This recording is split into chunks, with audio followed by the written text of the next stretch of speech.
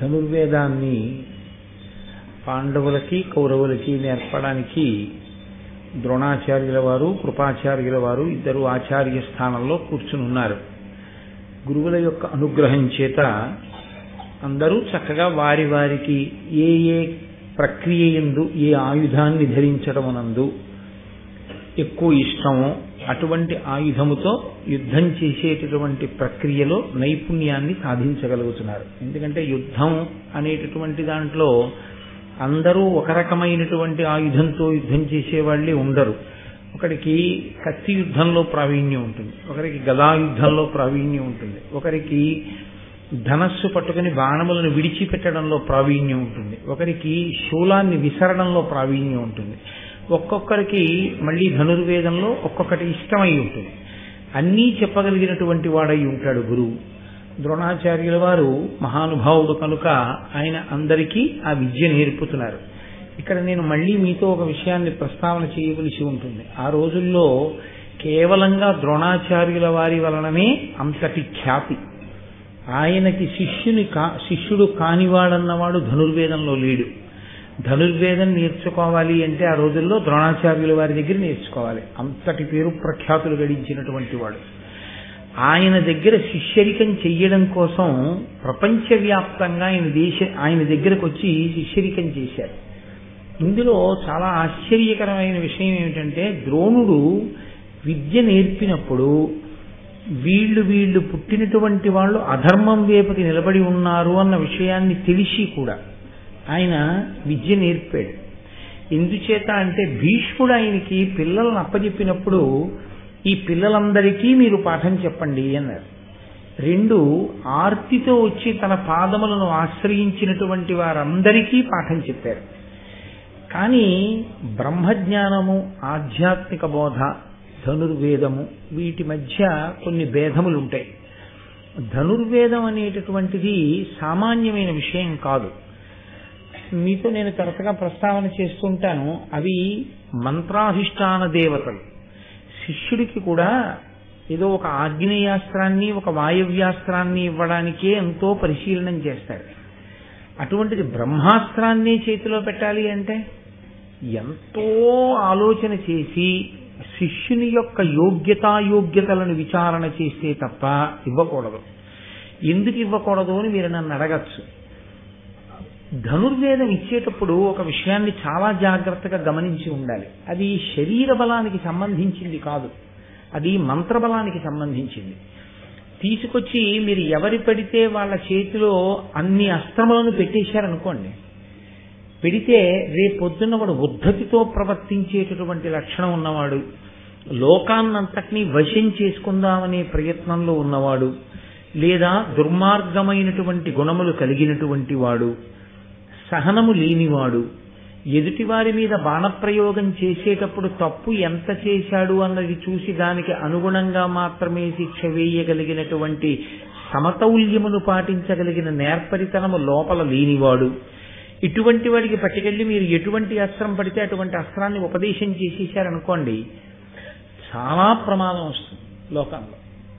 కాబట్టి ధనుర్వేదాన్ని ఉపదేశం చేసేటప్పుడు గురువు గారు శిష్యుని యొక్క శీలాన్ని కూడా దృష్టిలో పెట్టుకోవాల్సి ఉంటుంది. అందుకే అందరికన్నా ఎవరిని బాగా నిపుణుణ్ణి చెయ్యాలి అంటే అందరికన్నా ఎవరు సౌశీల్యం ఉన్నవాడో అందరికన్నా ఎవడు ఎప్పుడూ ధర్మం వైపు మాత్రమే నిలబడతాడో ఎవరికి ఎప్పుడూ అధర్మమునందు కించిత్ కూడా అనురక్తి ఉండదో అటువంటి వాణ్ణి అందరికన్నా ఎక్కువ అస్త్ర విద్య ఇచ్చి తయారు చేయాలి.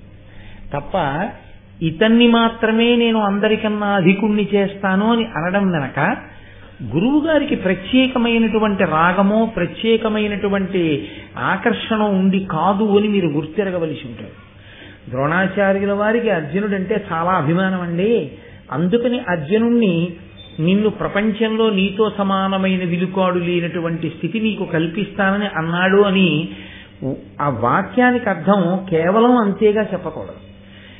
అర్జునుడికి అంత శక్తినిస్తానని ఎందుకన్నాడు?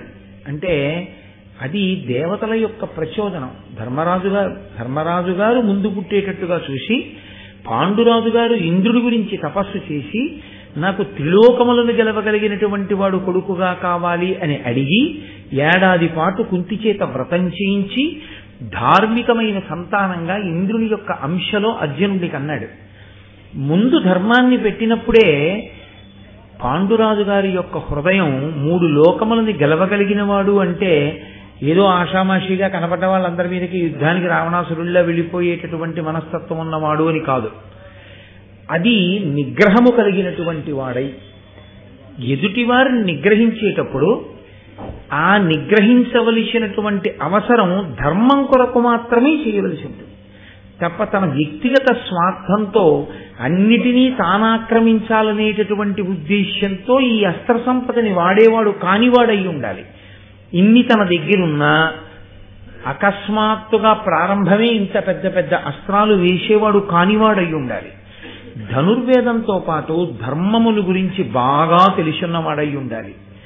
ఆ ధర్మములు తెలుసుకున్న దాన్ని లోకమునందు స్థాపించడానికి వీలైనటువంటి పరిపాలన చెయ్యడానికి కావలసిన యోగ్యత లేని వాడికి ఇంత శక్తిని పట్టుకెళ్ళి అప్పచెప్తే వాడు రేపు పొద్దున పరిపాలకుడుగా కూర్చొని వాడికి అనవసరం అవన్నీ. కాబట్టి చాలా దూరం ఆలోచించి యోగ్యతాయోగ్యతలను విచారణ చేసి ఇవ్వవలసి ఉంటుంది. అర్జునుడికి ఇచ్చాడు ఆయన. అర్జునుడు ఎప్పుడైనా రాజు అయ్యాడా? నా చేతిలో ఇంత విలువిద్య ఉంది అని అన్నగారినే చంపించి తాను రాజ్యాన్ని ఆక్రమించాడా? ఎన్నడు అర్జునుడికి అసలు మనసులో అటువంటి సంకల్పం ఎన్నడూ కలగదు.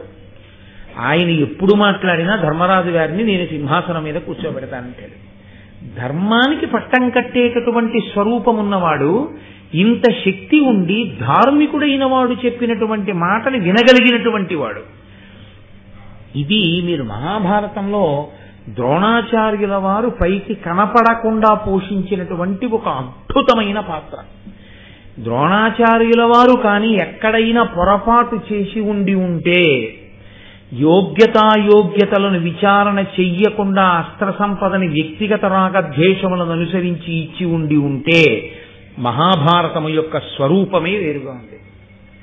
ఎందుచేత అంటే అప్పుడు ఆ వ్యక్తిని నిగ్రహించడం చాలా కష్టం. అంత ధనుర్వేదం ఆయన చేతిలోకి వెళ్ళిపోయిన తర్వాత అతన్ని ఓడించడం అతన్ని నిలబెట్టడం ఎవరికి సాధ్యం కాదు ఇక ఇంత ధర్మాత్ములైన పాండవులు కూడా ఒక దుర్మార్గుడి చేతిలోకి వెళ్ళి పడిపోయింది అనుకోండి ధనుర్వేదం అంతా ద్రోణాచార్యుల వారి దగ్గర ఉన్న శక్తి అంతా వెళ్ళట్టు పడిపోయింది అనుకోండి పడిపోతే అప్పుడు ద్రోణాచార్యుల వారికి కూడా ఇబ్బంది వస్తుంది వాడిని నిగ్రహించడం.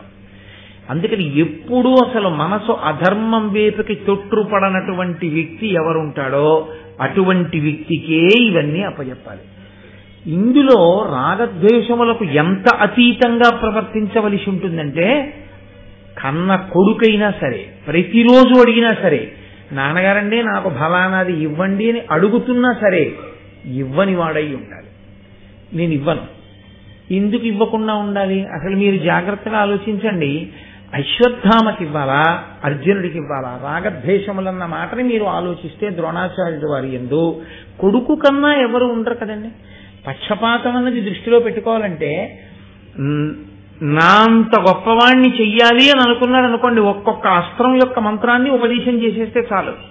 మొత్తం అశ్వత్థామ చేతిలోకి వెళ్ళిపోతుంది. అశ్వత్థామ చేతిలోకి కానీ ద్రోణాచార్యుల వారి దగ్గర ఉన్న అస్త్ర విద్య అంతా వెళ్ళిపోయి ఉండి ఉంటే ఎంత ప్రమాదం సంభవించి ఉండేది ఆఖరణ ఉప పాండవులందరి నిద్రలో ఉండగా కోసేసిన వాడు దృష్టజ్యుమ్నుడి యొక్క శిరస్సుని కాలితో తన్ని నిద్దట్లో ఉన్నవాణ్ణి చంపేసినవాడు అంతటి విచక్షణారహితమైనటువంటి పనులు చేసేటటువంటి ఉద్రేక స్వరూపం ఉన్నవాడు దుర్యోధనుడిని పంచన చేరేవాడు ఇటువంటి వాడు కాబట్టి నా కొడుకైనా సరే అస్త్ర సంపద వాడి దగ్గర ఉండడానికి వీల్లేదు. ధర్మం వేపకి నిలబడలేడు స్వభావమునందు దోషం ఉంది. స్వభావమునందు దోషమున్న వాడికి విద్యంతా ఇచ్చేస్తే నా వరకు బాగుండొచ్చు నా కొడుక్కి ఇచ్చానని కానీ రేపు లోకములన్నీ ఉపద్రవానికి ఎడతాయి. నా ఒక్కడి స్వార్థం కోసం లోకము నశించకూడదు. ఎవడు ధర్మమును నిలబెడతాడో వాడికిస్తాను తప్ప అధర్మ స్పర్శ కించిత్తున్న యుక్తాయుక్త విచక్షణ లేకపోయినా అటువంటి వాణ్ణి అర్జునుడి కన్నా పెద్దవాడిగా తయారు చెయ్యను. చెయ్యను అండంలో అర్థం ఏమిటంటే ఆయన ఇవ్వడు. ఏది అద్భుతమైన అస్త్రమో ఏది ప్రళయమునే సృష్టించగలదో దాన్ని ఉపదేశం ఆయన. ద్రోణాచార్యుల వారి దగ్గర బలవంతంగా ఉపదేశం తీసుకోవడం కుదరదు. ఆయన దగ్గర ఉంది అస్త్ర విద్య అది సామాన్యమైన విద్య కాదు. ఆయన అనుగ్రహించి ఉపదేశం చేయాలి. ఉపదేశం చేశాడా శిష్యుణ్ణి భరించగలడు ఆయన ఉపదేశించలేదా అవతలవాడు పొందలేడు. అశ్వత్థామ ఇక తండ్రి మీద ఎంత ఒత్తిడి తీసుకొస్తే ఇచ్చి ఉండి ఉంటాడో ఆయన బ్రహ్మాస్త్రాన్ని ఆ బ్రహ్మశిరోనామకాస్త్ర ప్రయోగం చెప్పాడు తప్ప ఉపసంహారం చెప్పలేదు ఆయన.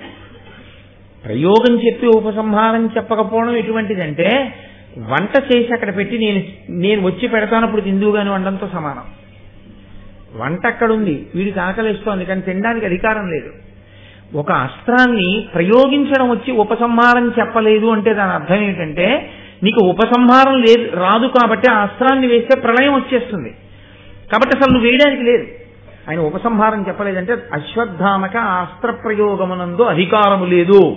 ఆయన చెప్పలేదు. అర్జునుడికి చెప్పాడు. ప్రయోగ ఉపసంహారములను రెండింటినీ అర్జునుడికి చెప్పాడు. అందుకే అశ్వత్థామ ప్రమాదం తీసుకొస్తే అర్జునుడు ఆ ప్రమాదాన్ని గట్టెక్కించాడు. ఉపసంహారం చేశాడు కృష్ణుడు చెప్తే చిట్ట చివరు. ఉపపాండవ సంహారం జరిగినప్పుడు. కాబట్టి ద్రోణాచార్యుల వారి యొక్క శీలాన్ని ద్రోణాచార్యుల వారి యొక్క స్వభావాన్ని అంచనా వెయ్యకుండా మాట్లాడకూడదు. కర్ణుడు దుర్యోధనుడి పక్షంలో నిలబడుతున్నాడన్న విషయం ద్రోణాచార్యుల వారికి స్పష్టంగా తెలుసు. కర్ణుని యొక్క స్వభావం ఎటువంటిదో ద్రోణాచార్యుల వారికి స్పష్టంగా తెలుసు. ఒక గురుస్థానంలో కూర్చున్న వ్యక్తి మొట్టమొదట గమనించగలిగే గమనించగలిగే గల విషయం ఏమిటో తెలుసా అండి? తెలుసుకుని ఉండవలసిన విషయం. స్వభావమును ఖచ్చితంగా అంచనా వేయాలి. స్వభావము దిద్దుకోలేడు ఇతని స్వభావం ఇంతే దీని నుండి బయటికి రాలేడు. ఎంతవరకో అంతవరకు మాత్రమే ఇవ్వవలసి ఉంటుంది. తప్ప నీకున్నటువంటి అనుబంధంతో ఏది పడితే దాన్ని తీసుకెళ్ళి గురువుగారి శిష్యుడి చేతిలో పెట్టకూడదు. పెడితే లోకం యొక్క సంబంధం లోకం యొక్క విశేషం? ఉపద్రవం వస్తుంది. పరశురాముడు ఇచ్చాడు ద్రోణాచార్యుల వారి కంటే ద్రోణాచార్యుల వారు గురుస్థానంలో అలా కూర్చోగలిగినటువంటి వ్యక్తిని నమ్మారు పరశురాముల వారు. కాబట్టి ఇచ్చారు. ఇప్పుడు తాను తనిష్టం వచ్చినట్టు తాను ప్రవర్తిస్తే తనకిచ్చినటువంటి గురువులు అగ్నివేశుడు మహానుభావుడు పరశురాముడు తన తండ్రి భరద్వాజుడు కాబట్టి అంత ఆలోచించాడు ఆయన. లోకం గురించి అంత ఆలోచించాడు. తప్ప విద్య నేర్పడంలో ఆయనకి ఎప్పుడూ పక్షపాతం లేదు.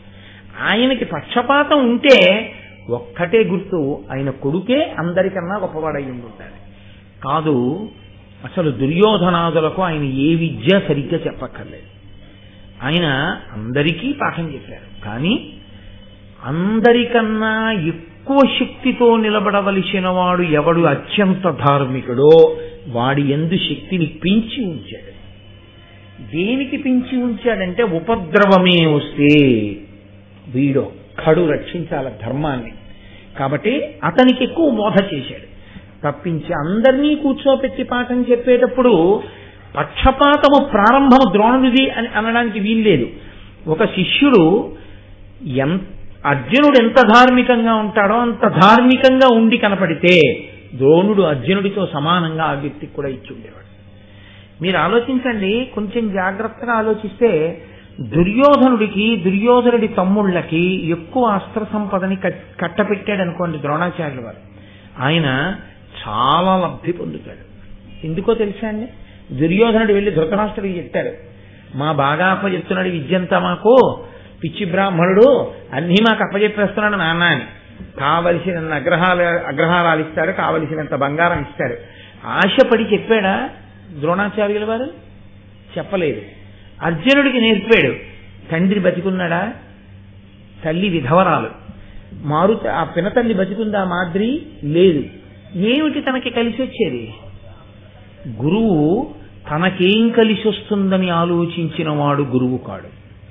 గురువు ఎప్పుడూ కూడా ఎక్కడ సౌజన్యం ఉన్నదో ఆ వ్యక్తి యొక్క ఐశ్వర్యంతో సంబంధం గురువు గారికి ఉండకూడదు. ఆ వ్యక్తి అర్హతని పొందినవాడు నెత్తి మీద పెట్టుకుంటాడంతే. ద్రోణాచార్యుల వారి యొక్క శీల వైభవం అటువంటిది కాదు. అసలు ఇంకా ఆయన శీలానికి గొప్పతనం ఏమిటో తెలుసా అండి? ద్రుపదుడు తపస్సు చేసి కన్నాడు. ద్రోణాచార్యుల వారిని చంపే కొడుకు కావాలి నాకు అగ్నిగుండంలోంచి వచ్చాడు దుష్టజమ్నుడు ద్రోణాచార్యుల వారిని చంపడానికే పుట్టాడు ఆ అబ్బాయి అన్న విషయం ద్రోణాచార్యుల వారికి తెలుసు. ఆ అబ్బాయి వచ్చి నాకు అస్త్ర విద్య మీరు నేర్పండి అన్నాడు. కత్తి పట్టుకుని ఎలా శత్రువు పీక కొయ్యాలో నేర్పితే ఈ పిల్లవాడు కోసే పీక నాది అని ద్రోణుడికి తెలుసు. తెలిసి కూడా ఆయన నేర్పాడు. చచ్చిపోవడం ఇప్పుడప్పుడు చచ్చిపోతాం. శరీరం పడిపోతుంది. కానీ ఆశ్రయించిన శిష్యుడికి నేను ఇవ్వకుండా ఉండకూడదు. కాబట్టి అతనికి ఎంత అర్హత ఉందో అంతా ఇచ్చేసాడంతే ద్రోణాచార్యుల వారి దగ్గర విద్య నేర్చుకున్న దృష్టజుమ్నుడు చిట్ట చివర ధనస్సు విడిచిపెట్టేసి నిలబడిపోయినటువంటి ద్రోణుడి రథం మీదకి దూకి ఆయన కంఠం కోసేశాడు. తన కంఠం కోసేస్తాడని తెలుసు ద్రోణుడికి. తెలిసి పాఠం చెప్పాడు. కత్తి ఎలా పట్టుకోవాలో కత్తితో యుద్ధం ఎలా చేయాలో నేర్పాడు. అటువంటి ద్రోణుడి పట్ల పక్షపాత ధోరణి ఇంకొక కోణంలో ఇంకొక కోణంలో మీరు ఎలా స్థా స్థాపిస్తారు చెప్పండి నాకు? అది తెలిసి కలిగిన మాట. కాబట్టి మహాత్ముల యొక్క దృష్టికోణం ధర్మం గురించి మాత్రమే. తప్ప వేరొక విషయం గురించి కాదు. అటువంటి స్వార్థమే ద్రోణునుకుంటే ద్రోణుడు అన్నిటికన్నా ముందు అశ్వత్థామకి పా పాఠం చెప్పకుండా ఉండకూడదు అన్ని అశ్వత్థామకి ఇవ్వాలి. రెండు తప్పకుండా.